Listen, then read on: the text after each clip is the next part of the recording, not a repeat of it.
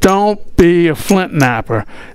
And I know that you will listen to me this time because most people don't want to be a flint knapper. I've been asked by you guys dozens of times to make a video on how to make opal arrowheads. I understand opal arrowheads are cool, but what you don't know is that to make an arrowhead, you have to know how to do flint knapping, and flint knapping, believe it or not, is extremely difficult to learn. I think it's more difficult than learning how to cut opal. A great majority of people have absolutely no interest in flint knapping. Over the years, hundreds of people have watched me make arrowheads, and only two of them have ever asked me, Hey, can I give that a try? And one of them was my sister. I don't know what happened to me.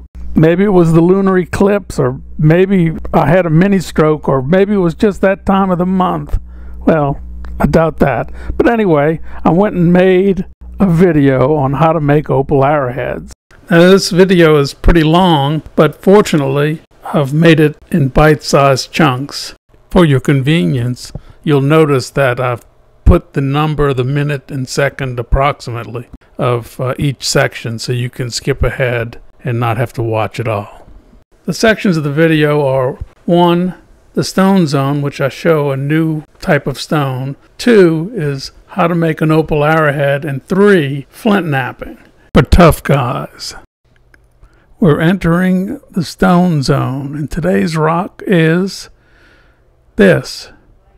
You need to guess what it is before I say it. Well, I'm going to give it away. This is charoite. Charoite was found in Russia in the 40s, but only really reached lapidary people in the 70s. It's beautiful, purple. That's the top, the normal surface. If you can get it, it's great to have. This is 17 pounds worth.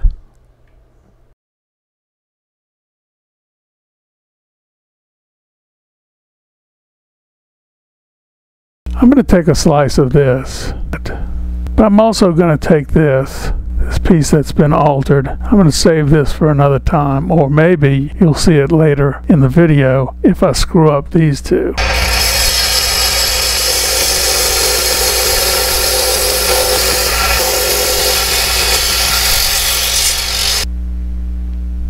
Perfect. I'm going to clean up. I'm going to clean up.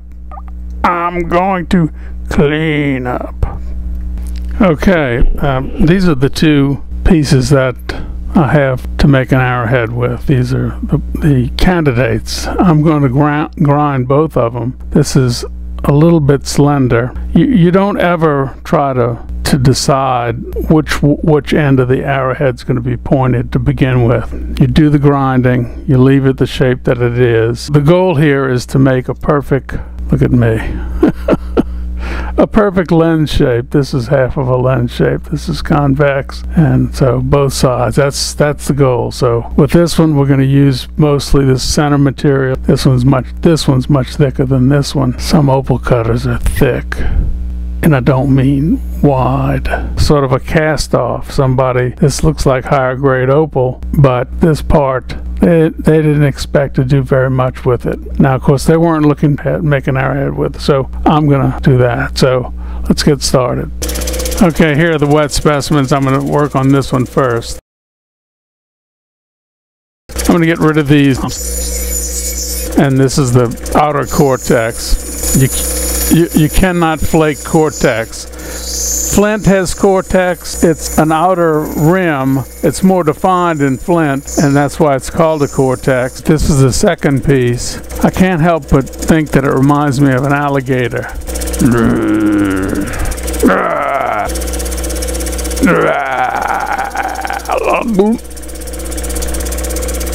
I generally call things the top the ones with the best color. That obviously doesn't have the best color. So this has a, a, a thin rim on it, so we'll remove that.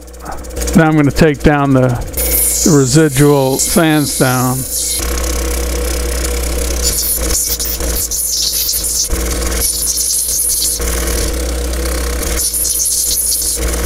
So the final result has a nice smooth curved surface, both sides, and it's ready to flake. The way you approach a flat thing is by thinning the ends, and you want the center part to be thicker, so you'll only be grinding the edges slightly inward, sort of rolling them in. I've rolled this one in a little bit.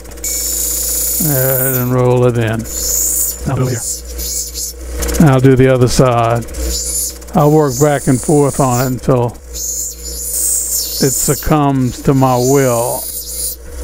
Take that, you rat. So you can see it's starting to come in.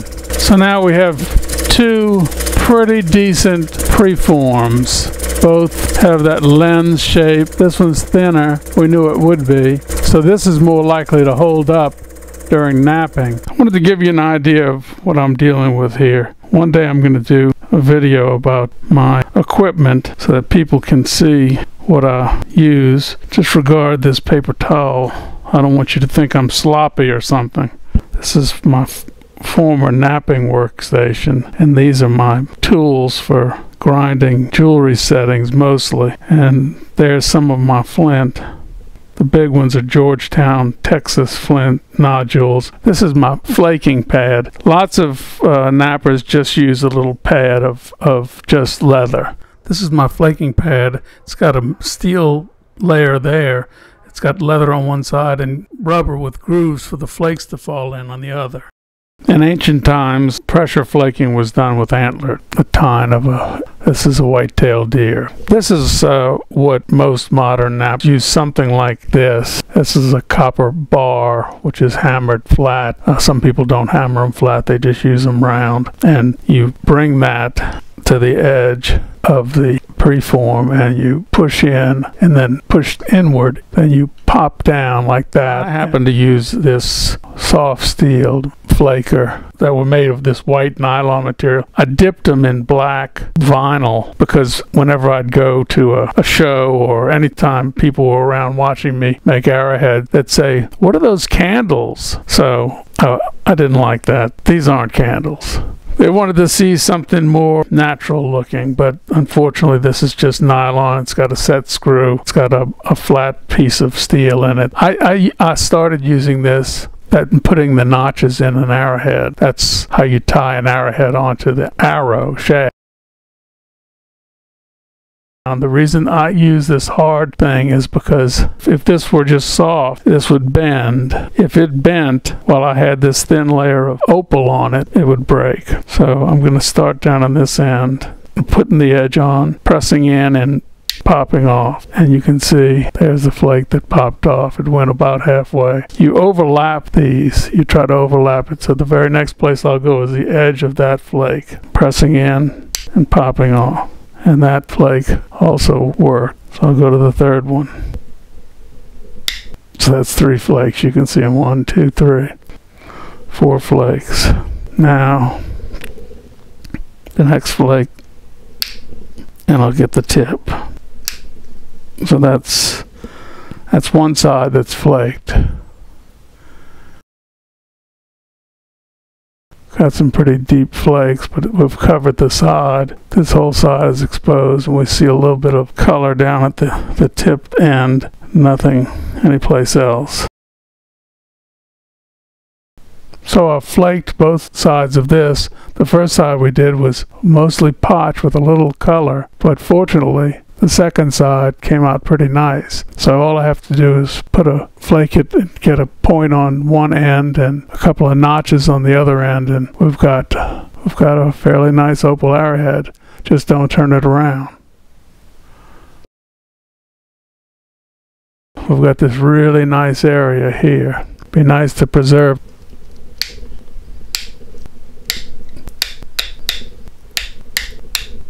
and you can see we see the color through it. There are only a few color bars, but that's a nice set of flakes.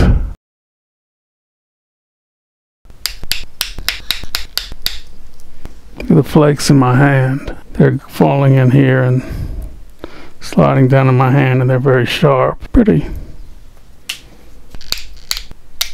So now we can see that parallel flaking goes all the way across and we've preserved our beautiful color bars. So now it's flaked on both sides. It really looks good.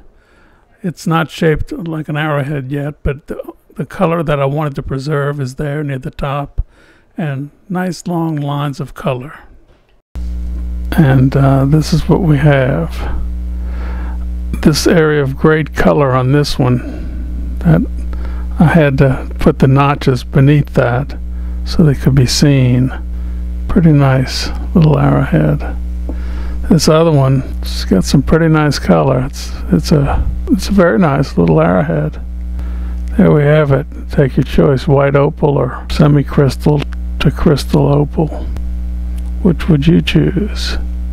Don't choose. Take them both. Here. Now this section is for tough guys, people who really want to know how to flint knap. There are not many of you, but good luck.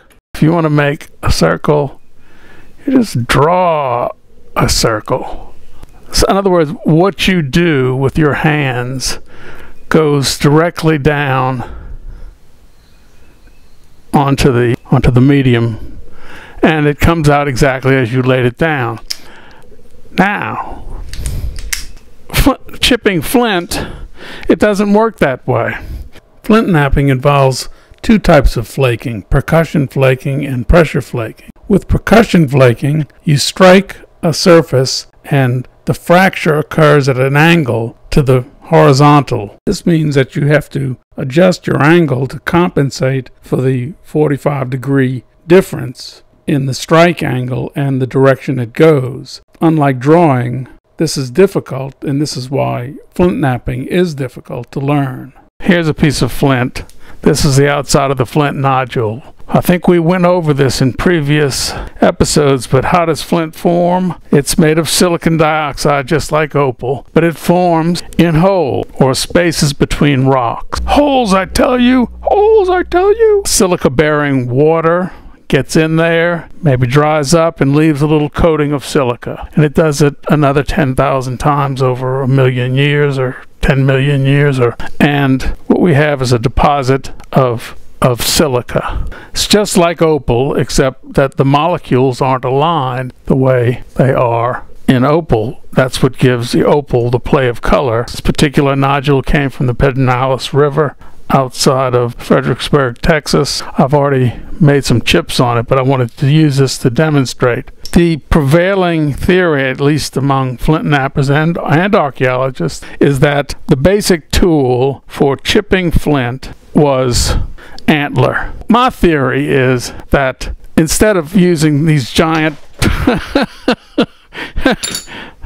I dropped my tool. Instead of using these massive tools, they, they didn't have the copper, of course. don't get me started. yeah, the, the, the ancient copper age, they had a little bit of copper, but it wasn't enough. There weren't, this is not going to do the this will do the damage, but this isn't available. So what did they use? In my opinion, and I think I'm right, archaeologists could argue with me. I'm not an archaeologist, so, and I'm the one making the video, so I have to be right, right? Flint, like glass, like opal, is very sharp and, and it can cut you. In this case, it can cut me. So if, if I wanted to take off a flake from right here, the way I do it is I turn it upside down and I'd hit here. When I strike down on it, the, the, the force vector, the force goes at a 107 degree angle to the way I'm doing it. So in other words, I drew the circle and everything went exactly where I put it.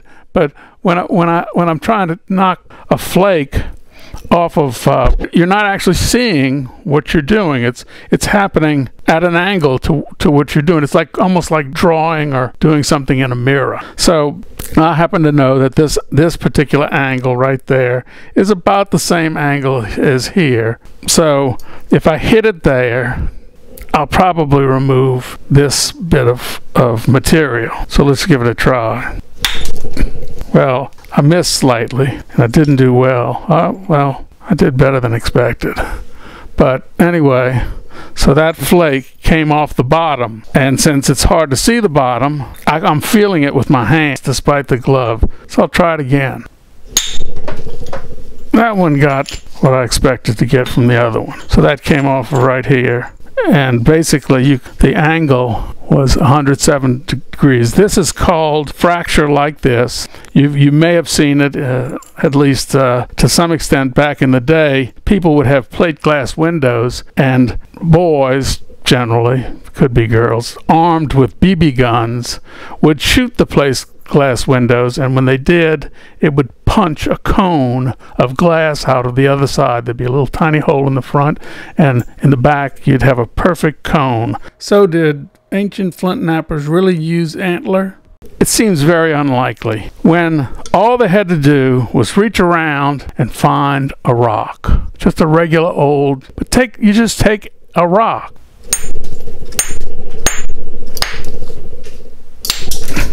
Look at there. You can remove large flakes just with a rock. What is the likelihood that they traveled to Mont Manitoba to get this when they had to just reach down into the creek and get this? Well, Manitoba's beautiful.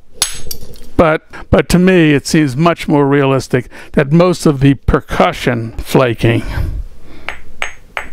occurred with just a hammerstone.